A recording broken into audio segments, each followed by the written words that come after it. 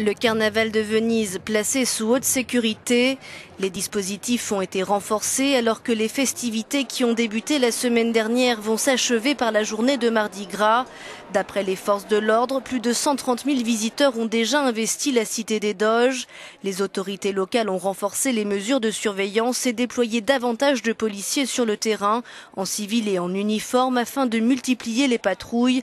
La place Saint-Marc n'est accessible que par des points de contrôle. Les festivaliers doivent tomber le masque, ouvrir leur sac et franchir des détecteurs de métaux non loin du poste de commandement installé pendant cette période. Des procédures d'évacuation ont été planifiées en cas d'urgence et la police ferroviaire a également intensifié ses contrôles.